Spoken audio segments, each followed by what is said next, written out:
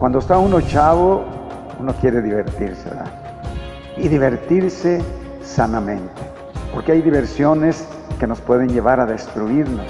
Y hay diversiones que dan gozo en el corazón, dan gozo en el espíritu y más cuando se comparten con personas que tú amas, con los amigos, con la familia.